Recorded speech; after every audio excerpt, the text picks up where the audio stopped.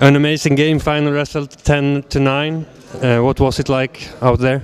Uh, we started uh, pretty strong, but uh, then uh, at the second period, I don't know what happened to us. We were a little bit like zombies, and uh, then Wiler came came to the game really strong, and they take the control, and they scored very very offensively those places that they got. So uh, it was really really hard, but we got the game. Uh, we we kind of uh, had to get, get ourselves together, and uh, then then we made the uh, goals that we wanted to do. Were you worri- worried? Uh, second period was really bad. It, it was I don't know what came to us, but then at the third period we were a little bit like ourselves.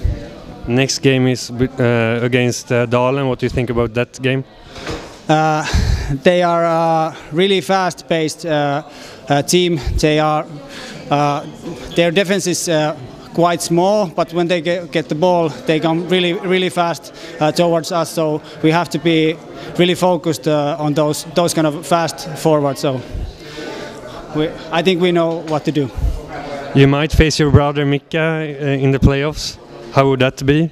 Uh, it would be amazing. I, I haven't ever played uh, uh, against Mika in the real game, so it would be amazing. And uh, which Kon- Konen is the best?